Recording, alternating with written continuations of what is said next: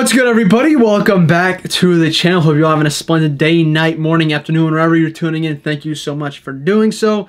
Now, in today's video, we're basically going to break down sneaker selling, where to sell shoes, and what has changed over the past couple months and even like a couple of years of like where, like, you know, where you get the most bang for your shoes. Now, listen, marketplaces are different all over the place. As I always stress in my videos, local marketplace is always the best.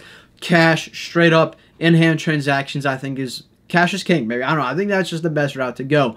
But now there's, you know, other platforms to sell on as well. Now consignment has become a very popular thing. We've seen a lot of it across social media and all that type of stuff. So in this video, we're basically going to break it all down. This is kind of like the finale to the three-part series where I break down sneaker investments, sneaker shoes just to buy for the personal, and now we got sneaker selling, where to properly sell your shoes. So we're going to break down a couple of different platforms. We're not going to be able to get into every single store and every single shoe today, uh, but we're just going to give you guys a brief little general synopsis on what's going on. And if you guys want to take your reselling game to the next level, I highly encourage you to check out the group TommyBoyTV Plus, the group I own and run since 2018. About a little bit more than four years, we've been in the game and we've been having a great run at it. So uh, if you guys are interested, make sure you check us out on social media as well. We post on there daily. And if you don't even want to join, you know, check us out, follow us, see what's up, and maybe eventually you will. Uh, so I greatly appreciate the support over there. So let's get right into it. First and foremost, we are going to focus on the Nike Dunk Low Black White, just because I think it's a staple shoe right now. Everyone knows, everyone has a pair. I mean, not everyone. Almost everybody, I feel like, has a pair by now. If you're trying. If you try for every single restock and Connell every single time, honestly just just quit while you're ahead and just don't even go for shoes anymore at that point because uh, this shoe has restocked I want to say like eight different times on the Nike app itself. Plus, you got other retailers dropping these consistently all over the time. It's just kind of sporadic depending on how retailers get the shoe. But anyways, we're talking about the selling process of this sneaker. So right now we're on eBay, which eBay has done a great job really like revamping itself within the past year, year and a half. Um, first and foremost, they do the authentication guarantee. This actually helps an extreme amount. The one thing that a lot of people complained about in the past was like getting scammed on eBay. The buyer saying it never arrived. You sent in some pineapples instead of the shoes. I've seen all sorts of crazy stories and like issues that just resulted from eBay because eBay usually tends to side with the buyer. Not all the time. If you complain enough, you make a good amount of argument, and you actually are in the right, then they're probably going to side with you. But now with authentication guarantee, they automatically authenticate the sneakers on eBay I feel like I'm an ad for this site, but I'm not. I'm not. I'm just kind of explaining to you that I just want to make everyone out here to make as much money as possible off this shit. So we're gonna go a little bit more in depth. They basically authenticate the sneaker for you and send it to the buyer. Once they authenticate it, you get paid out the next day via bank transfer. No more PayPal needed either. You can just do straight through the bank, less fees, less payment pendings, and all this stuff just instantly within your bank account than in the next day or two. Uh, and if even if the buyer opens a case against you, a chargeback against you, or anything of the above, they you're not liable for anything because they got verified and it got shipped from eBay to them. They were the middleman. Basically, they just took over StockX's ID of the whole authentication program, and you're pretty much safe off the bat. Uh, another thing I always recommend doing on eBay when listing your shoes is do free shipping. Do free shipping. It looks a lot better a lot more enticing. That free shipping looks better. It has a green logo on the phone and it shows up green, so it catches your eye a little bit better. And just include it within the price. Usually about like ten dollars for shipping. I'd say max across the country. Um, and it looks a lot better even if you included the price. So say you say you want two hundred dollars for this shoe and you make it two ten free shipping versus two hundred dollars plus shipping. 210 free shipping I just think looks a lot better and more enticing and more attractive to other people. But anyways, in terms of the resale market on eBay right now for the shoe and for most shoes, it tends to be a little bit over StockX ask. I'd say about 10 to 20 to 30 dollars over. Right now, these are selling for 200 dollars on eBay, which I think is a pretty solid bet. After fees, you're probably making 280, 275. 175 to 180 my bad missed the digit there. They're literally selling for $200 there's no argument against that. They're literally selling for that. Even sometimes even more. You like one, this is a little bit of a rare sale. I don't know if i really believe it but sale right here at 260 bucks with a bid. Uh 210 right here free shipping. Look beautiful. Exactly how i would do it. Same route um, you could probably even get them for a little bit more. Now, if you do sponsor listings, you can probably sell it a little bit better and a little bit higher just because it shows up at the top. And, you know, it's just like that buying this shoe. If we go over to StockX, so StockX market is around $194. Minus 8 plus 11%. You're making it a little bit less than eBay. I'd say probably 10 to $15 less than you would on eBay. But you know, you maybe get paid a little bit faster on StockX. So you have 6% fees instead of 8% fees. You save an extra 2%, which is like four bucks on a $200 shoe. So you know you can take it that route as well. But right now on this show, I'd say StockX is not a good platform. And nearly, I'd say for like 99% of shoes right now in this current state, not a good place to sell shoes. I would try to go anywhere else. Leave StockX as the last resort. First, I'll go to eBay, check market, check comps, check eBay sold, then go over to GOAT. Goat for the shoes about $10 more and pretty much the same fee structure. The only thing that's a little bit more discouraging is they charge an extra 3% fee uh, when you want to transfer your money. So they don't really show that, but that's just what happens if you want to take it out of the app into the bank account. So you might actually end up making just about the same as you would on StockX, maybe slightly more.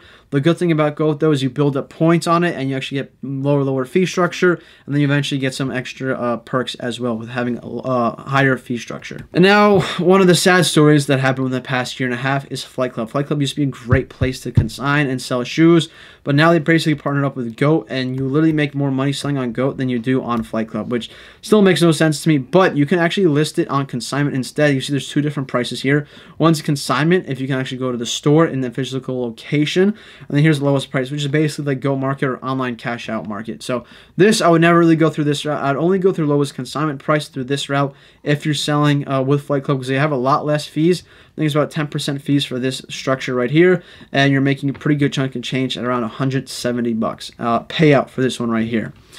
Uh, then we go over Urban Necessities, another pretty popular ass resale shop, which is uh, run in Las Vegas, but you can actually ship stuff to them as well.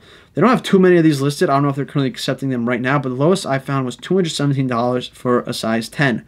They charge 15% fees, which is the lowest out of many I'd say out of almost every single consignment store, this is like one of the lowest ones, especially because it's so damn big. I would expect a lot more percentage wise to be taken out. That's like three dollars right there, and you're making uh 175 probably ish, just around that range. So I'd say honestly, right now it's looking like Urban Necessities is looking like a very very solid bet. Uh, in terms of volume, though, it's kind of tough to tell. Now we go to Stadium Goods for 220. They charge 20% fees more discouraging. Also, one thing I want to say, the one thing about this and Flight Club, if you have to ship them, I've had to ship them before. I haven't had the best experience, I had to say so myself. They actually declined like five out of like 15 pairs I sent in um, because they had like scuff marks, like little like minor things that I didn't even notice myself when I sent them in. Like nothing even major, and they denied them. And I had to pay $15 return shipping for each one. So you don't know if it's going to actually pass until it passes through the authentication thing. So like it's kind of a hit or miss. And plus shipping shoes like this, I kind of like to stay away from. And that's why I always recommend local shops. In New Jersey, where I'm located, we have in every single mall I go to, there's a new shop I've never you know seen before or oh, or checked out before in my life, which is cool to see.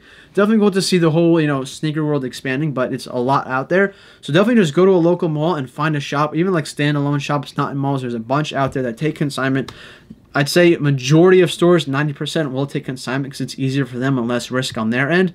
Uh, Laced is a pretty big one out there as well. It's pretty local. And uh, Soul Stage is another one out here we can talk about real quick. This one you guys sell through the app, so I don't know the exact comps and everything, but right now, if you can sell for $300 on Soul Stage, I mean, you're killing it because that's the highest I've seen them listed anywhere on social. They're more like this. They're like a big store out there, but they're one of the smaller big brand stores. So I definitely just keep that in mind going into this one. Of course, if you live like in the middle of nowhere, oil fields around you, white plains around you, just fields of corn around you. I don't know what's up with you. Then you might just have to ship places or sell on eBay at that point. Get active on eBay, build your own eBay store, and then you get a lot, lot more attraction that route. Now, a different type of sneaker, we're going to go with like an older shoes. Now, older shoes tend to do much better on consignment as well. Uh, this is a Jordan 1 High OG Shattered Backboard. Now, if you're going to go on StockX and sell shoes, I only recommend selling like break flips, like shoes that you find at the outlet, shoes that you find on sale on discount at Foot Lockers, online, even like, you know, whatever you find on like Black Friday sales, you find some good shoes. Sell on StockX, definitely bang, bang, quick sales if you know you can get a sale. Because like shoes like that, like weird one off shoes, like weird Air Forces, weird Jordan 1 mids, weird Nike Air Maxes. Apps is like the best place for that. Like I had an Air Maxes from Nike. We'll put up the sale above. I sold them on StockX finally, and I would never get that sale anywhere else. I don't think. So that's why I recommend those type of shoes. Definitely rely on apps. These older type of shoes, I definitely recommend on consignment. Look, for example, we got a size 10 at 405.